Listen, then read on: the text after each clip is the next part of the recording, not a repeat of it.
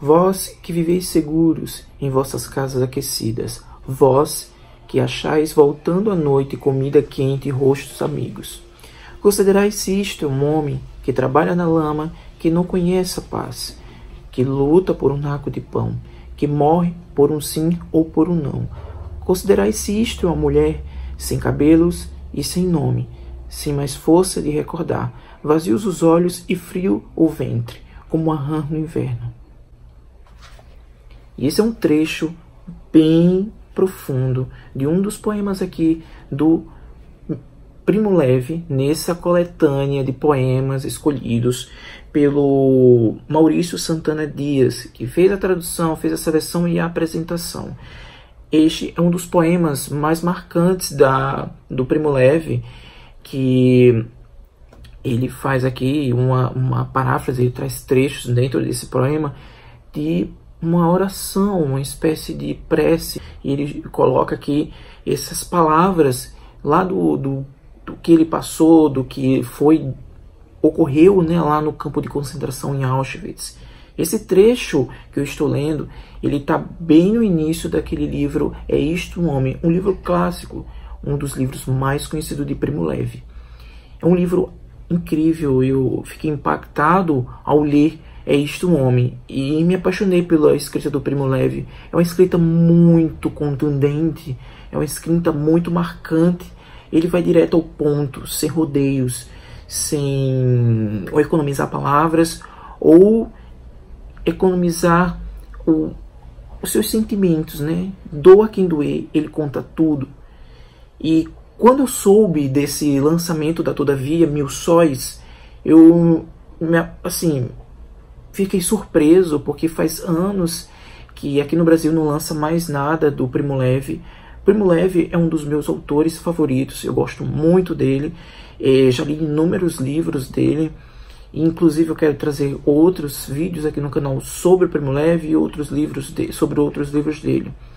Primo Levi ele tem uma vasta, é, um vasto trabalho mais focado é, com fazendo um protesto, né, denunciando o, as condições de trabalho que foram lá no, nos campos de concentrações, mas focado mais na figura humana, é, mostra a descaracterização, a despersonificação da figura humana, o que ocorreu ali no campo de concentração. Primo Levi só passou 11 meses em Auschwitz, logo no final da Segunda Guerra Mundial, e foi o suficiente para que revolucionasse a vida dele e que ele conseguisse expandir isso e trazer isso para os livros e mostrar essa toda a realidade.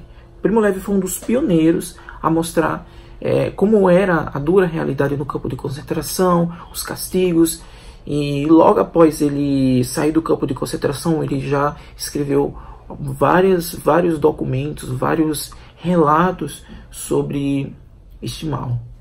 Aqui eu vou comentar sobre esse livro de poemas do Primo Levi que acabou de ser lançado pela Todavia.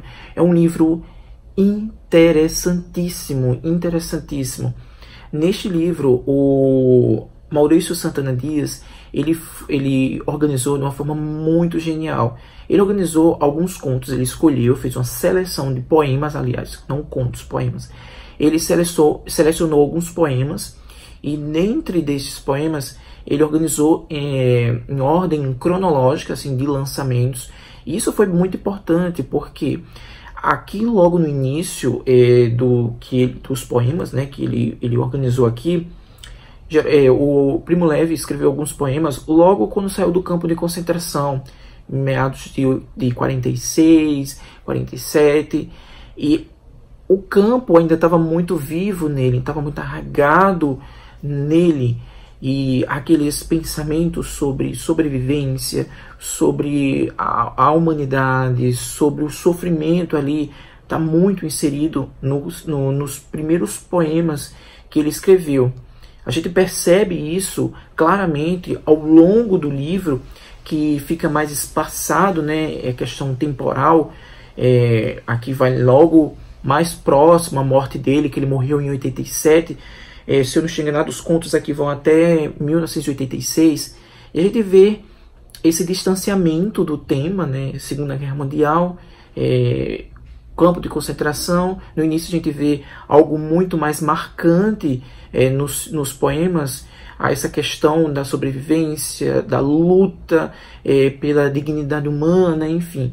Lá no final a gente vê um distanciamento desse tema, focado mais é, na personificação humana, é, no conhecimento é, da humanidade, é, na despedida também, né, na questão da, de lidar com a morte, não focado lá naquela questão mais no, do campo de concentração, a gente percebeu já esse distanciamento, mas é, o significado da vida, é, o que que a gente faz, estamos fazendo aqui, é, enfim, é um, um material muito rico isso aqui, muito rico. Um outro trecho, até no início agora do, do vídeo, eu citei um dos poemas do Primo Levi, é, que traz muito forte essa, essa, a presença do campo. E um outro poema que ainda traz, é lá, foi escrito em 46, é, um ano depois que ele saiu do campo de concentração, se eu não chega nada, ele saiu em 45. E ainda ele traz aqui um outro poema bem curto, mas também bem marcante, sobre esse, essa passagem dele lá no, no campo, que diz assim: o título é Pôr do Sol em Fóssole. Ele diz: Eu sei o que quer dizer não voltar. Através do arame farpado, eu vi o sol declinar e morrer. Senti as palavras do velho poeta a lacerar minha carne. Possam os sóis decair e voltar. Para nós, quando a breve luz se apagar, há que dormir uma noite infinita. E é muito interessante esse ponto do, do Primo Levi sobre ao pôr do sol não saber o que o que iria acontecer. Muitos dormiam, não acordavam. Era o único momento de descanso e paz que eles tinham ali, né?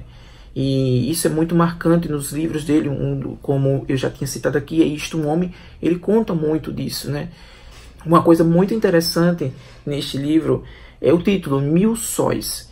E sóis é uma palavra constante no, nos poemas de Primo Levi.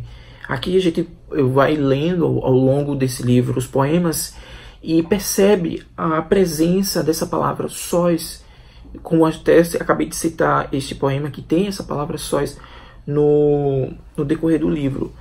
Sóis é o rei, né, o astro, sol, é um algo muito importante para a vida humana. Através dele a gente tem nossas plantações, tem a vida, a vida na Terra, ela é, ela é regida através desse astro, podemos até falar desse astro rei, o Sol comanda os planetas em volta dele.